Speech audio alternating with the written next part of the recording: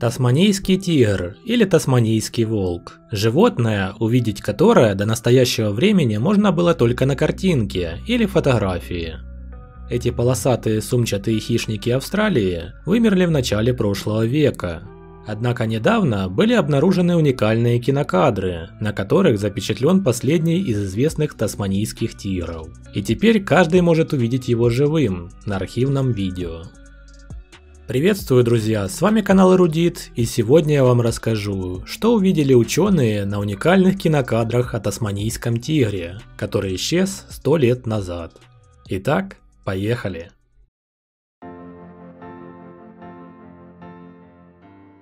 Тасманийский тигр был самым крупным из существующих сумчатых хищников. Внешне он был похож на большую собаку и по повадкам напоминал волка, за что и получил еще одно название – сумчатый волк.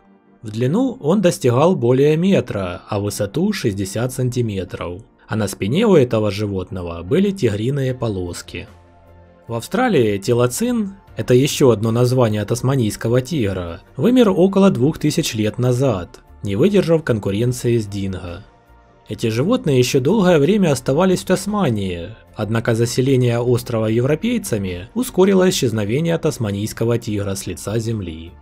Обитатель зоопарка Бьюмарис в Хобарте, питомец по кличке Бенджамин, был последним из известных тасманийских тигров.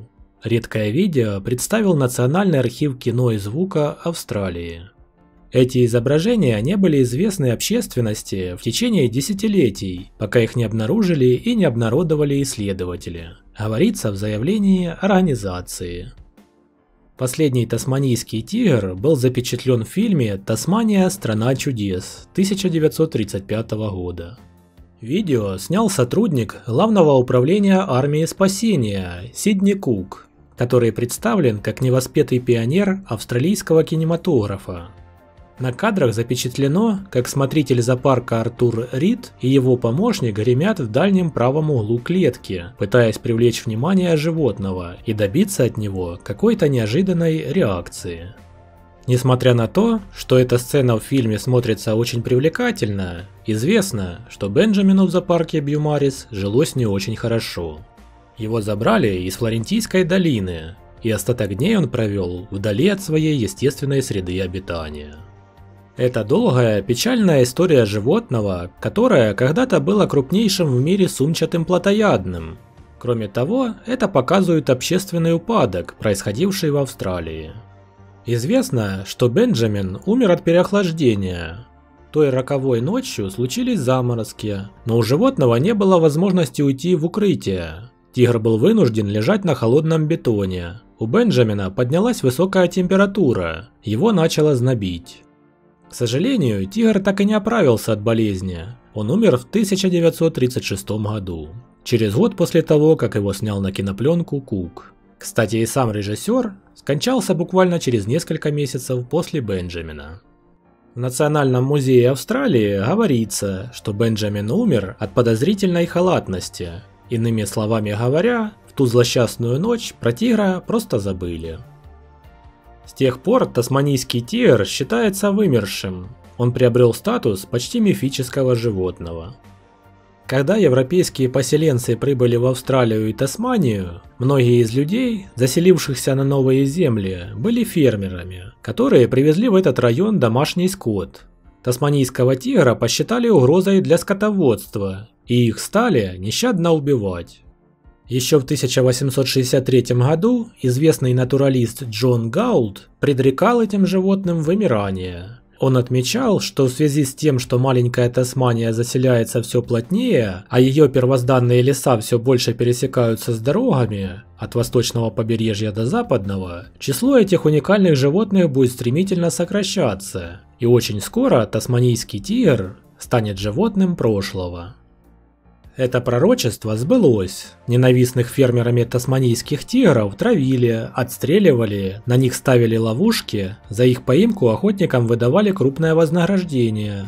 Кроме того, в начале прошлого века тасманийские тигры начали умирать от инфекционной болезни, предположительно собачьей чумы. К сожалению, правительство Австралии слишком поздно озаботилось судьбой этого вида. Его взяли под государственную защиту всего за два месяца до кончины Бенджамина. Интересно, что в прошлом веке некоторые ученые и исследователи еще долго отказывались верить в полное вымирание телоцина. Например, в 1984 году известный магнат Тед Тернер предложил 100 тысяч долларов за доказательство наличия тасманийского тигра на Земле. Были и другие исследования, однако в итоге это животное все-таки было официально объявлено исчезнувшим. Кстати, 4 года назад было проведено исследование, которое показало, что Бенджамин в 1930-х годах, возможно, не был единственным тасманийским тигром в мире. Якобы телоцины еще встречались в 1940-х годах. Некоторые австралийцы и тасманийцы в наше время утверждают, что видели этих животных в лесах, однако документальных подтверждений у этих сообщений нет. Интересные результаты исследования опубликовали в 2017 году. Ученые подсчитали, каковы шансы того, что тасманийский тигр все еще существует. Ответы были неутешительные. Один шанс из 1,6 триллионов. Колин Карлсон из Калифорнийского университета в Беркли и его коллеги собирали данные о подтвержденных и неподтвержденных наблюдениях начиная с 1900 года, чтобы смоделировать вероятность исчезновения телоцинов в разные моменты времени. Их наименее оптимистичный сценарий учитывал только подтвержденные наблюдения, в то время как наиболее оптимистичный учитывал и неподтвержденные наблюдения. Наиболее оптимистичный прогноз команды говорит, что тасманийские тигры оставались в дикой природе только до конца 1950-х годов, и вероятность того, что они все еще живы в 2017 году, составляла 1 к 1,6 триллиону. Одна из проблем этой модели заключается в том, что она основана исключительно на зарегистрированных наблюдениях и может быть менее приемлема к таким отдельным диким местам, как Кейп-Йорк, считает Брэндон Уинтл из Мальбургского университета в Виктории, Австралия. Его исследовательская группа разработала альтернативную модель, которая включает данные о предыдущих поисках в отдельных регионах, а также аспекты биологии и поведения животного, такие, например, как его ночная природа, что делает наблюдение менее вероятным.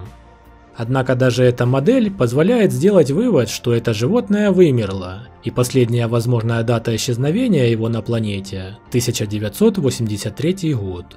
К сожалению, мы тоже вынуждены опустить занавес, заключает Уинтл, и тут же прибавляет, но если вдруг я окажусь неправ, то я вместе со всеми буду очень рад. Между тем, австралийские ученые не оставляют надежду клонировать тасманийского тигра, так как сохранился кусочек ткани животного, который был заспиртован в начале прошлого века. А на этом у меня все, дорогие друзья. Надеюсь, вам понравилось данное видео. Обязательно им делитесь и пишите комментарии. До скорого!